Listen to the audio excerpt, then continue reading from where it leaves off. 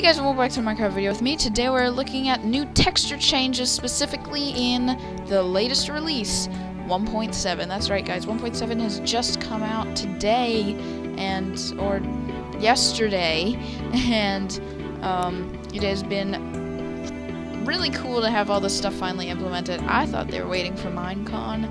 I guess I was wrong, but it is Minecraft 1.7 that we are in.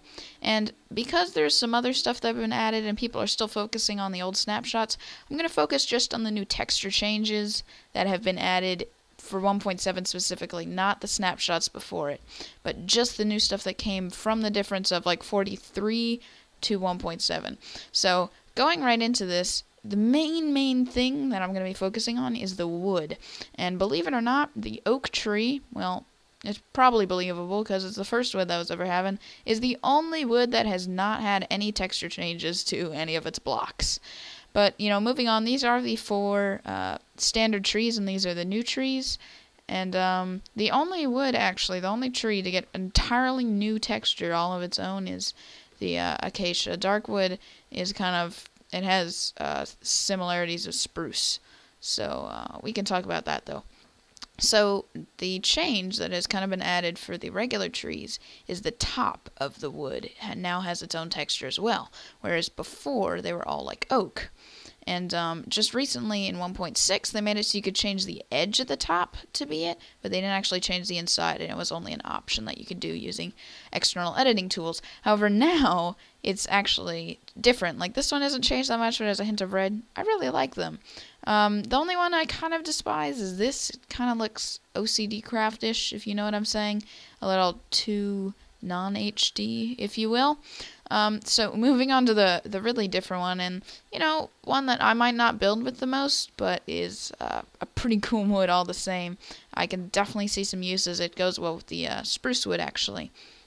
Excuse me, and um, it is an interesting tree in the fact that the leaves don't have enough of a texture for what it is, in my opinion, because you just see straight through the sky if it's just one thick, which is an interesting fact. They're just using the oak leaves right now for the textures of the new trees. Hopefully they'll change that. I really hope they do. Maybe not with the roofed oak because that's still technically an oak, but you know, at, at, least with the acacia, make something different. But it kind of goes along with the red color theme. These are just a few examples. I don't know why. And um, the top's pretty cool. It's like a gray, ghostish on the outside. Anyways, moving on. This one, I call it the chocolate wood. You know, the dark oak wood is just it's dark and rich. The top's pretty cool, but the planks, man. My favorite wood, probably it's a combination between uh, birch and spruce, because I like spruce like it was darkness. But now, compared to this, like, it looks all faded out and not as good anymore. Like that, it's topped it. It's so rich and like uh, I can't wait to build it this, let me tell you. And just as a uh, reminder, they have both of their own stairs and slabs as well, so don't worry, that was implemented. Unlike some other blocks that have been implemented for like ever, and they just recently got their slabs and stuff, so, you know, don't worry about that. Um, so those are the major changes for wood. Uh, looking forward to new leaf textures, cross your fingers. Um, yeah. So, just a few quick things. Um, a main thing that actually happened in one of the snapshots, not for 1.7, was the pufferfish texture was changed. But since we're talking about textures, I figured might as well mention it. Um, the uh, last thing that kind of was notably changed is the kind of animation of the glowingness, the enchants on enchantment stuff. So, if you look essentially anything, they look brighter now. And that is because the animation just goes quicker, so the bright, shiny part is appearing longer, so it appears brighter, is all. So, um, that's pretty much the last thing I want to say, except for, um, that's right, they completely boggered this all up, and I've never said that before, but I feel like I wanted to try saying it. Boggered. Anyways, Mojang, your new wood, amazing, awesome, great, good Mojang. This, bad Mojang. This is crap. Aggravates me to heck. Because before you could have these invisible map tricks, you can put like custom maps on top of something, and it would be it would look really cool because you set the background to whatever you want. and they had to make it so that the item frame now has a texture again. So anything that's invisible, you see the stretched out item frame behind it.